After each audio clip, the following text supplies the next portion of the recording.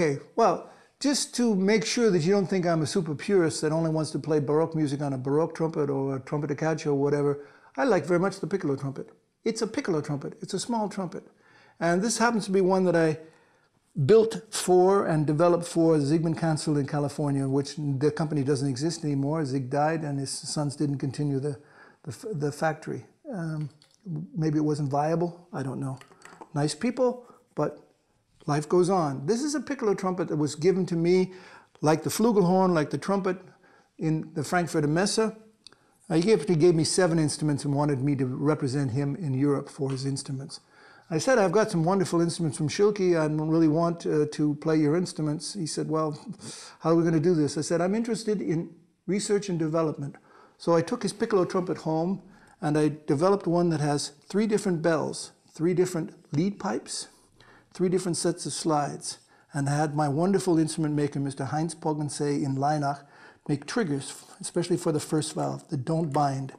It doesn't bind because it has a, a like a rail here that moves along. It's wonderfully, beautifully sensitive and very easily, it doesn't bind. And you can pull the slides and move the slides. So it has bells, including a wooden bell for B flat. And it has also a wooden bell for A and a G bell and whatever. But in any event, a wonderful piece to demonstrate this instrument and the piccolo trumpet is a piece from Gottfried Heinrich Stölzel. And I've asked my young friend and colleague, Mr.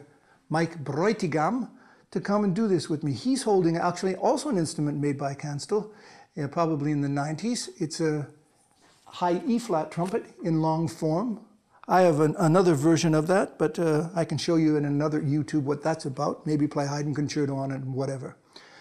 But uh, since he's playing the second part and it's down a third, sometimes down a fifth, it's better to use a larger instrument. The same concept that I was trying to talk about with trumpet caccias. It's better to have a larger mouthpiece and a larger instrument in a larger tessitura or a larger range. So Mike was very kind to have rehearsed this a little bit with me. And since he's going to play with me in July for Danny's wedding, I thought it would be a great opportunity for him to be a part of this YouTube, and I thank you very much for coming along. Um, you're welcome. You're, thank you very much. So we're going to do, uh, uh, if you can do just a short introduction before letter B. It starts with the second trumpet, or the, the what's not a trumpet two, or the trumpet B, trumpet A. I don't think about first and second, uh, at letter B. So before letter B. Yeah, three bars. Yeah, three bars would be great.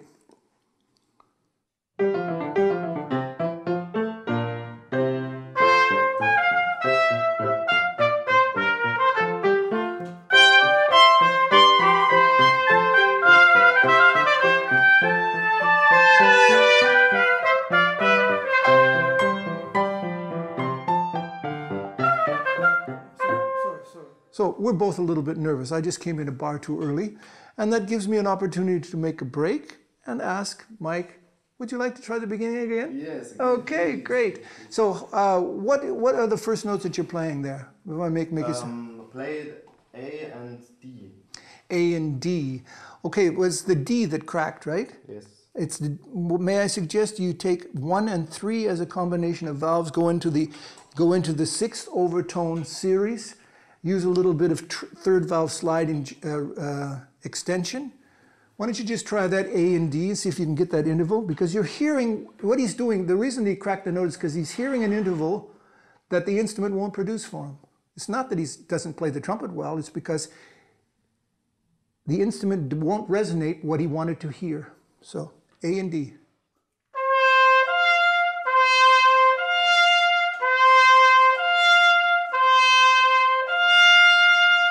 Now you're playing the A third valve slide because, but you could use it one and two and put a little first valve slide and that could be the slide that you also need for the D. So you just set the first valve slide for the A and the D and use one and two and one and three. Can you try that?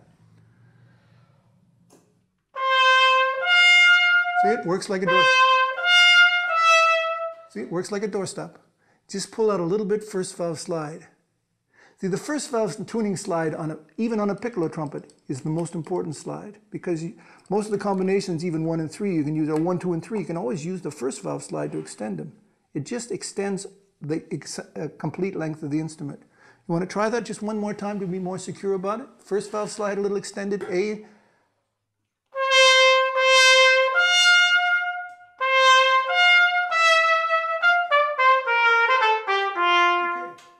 Sounds great to me. Are we ready? Danny.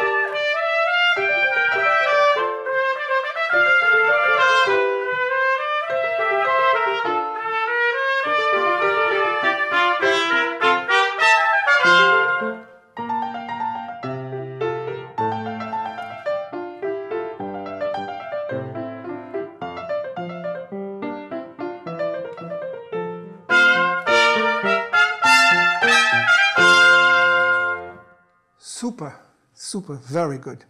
You know, I've played this piece many times with different trumpet players from England, from France, from the United States, from Germany. Connie Groth, solo trumpet in the Berlin Philharmonic. Fred Mills from the Canadian Brass Quintet. Uh, Michael Laird from uh, Philip Jones Brass Ensemble. And I think it sounds great on the E flat trumpet. And believe me, you played it wonderfully. They didn't play it a bit better, believe me, because it's difficult. Of course, we might want to just try letter G a little bit more. Let's try letter G and a little bit more expressively. Uh, I'm a little bit too loud, I think. I'd like to play a little bit less loud. Can we try G? Just two bars before letter G. It's not the intricate running here. This letter G, maybe to, to I. Okay? Play an introduction, please. How many bars? Uh, two bars. Two bars, okay? Good,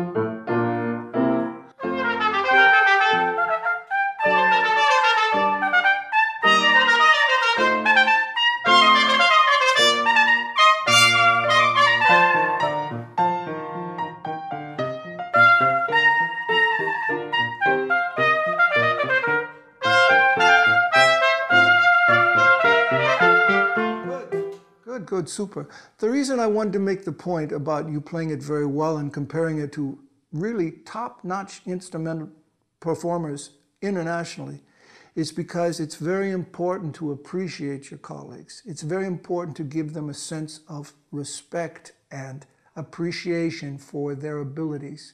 And I know that since our rehearsal yesterday, Friday, you practiced this, didn't you? You yesterday, you looked at it, didn't you? Yeah. Yes, of course, because it has to be. The person that doesn't practice his part is jeopardizing the quality of the whole ensemble. It's very important to do your homework because it makes life a lot easier. And since we're very pressed for time, we can go on. and play the, the second movement, which I think is the most beautiful part of this, where the two instruments are, are in, in a, a dialogue with a lot of expression. And, um, well, without ado, uh, uh, upphrasiert, please. Dee-dum, dee-dum, dee, and you might use a little bit of pedal as you want.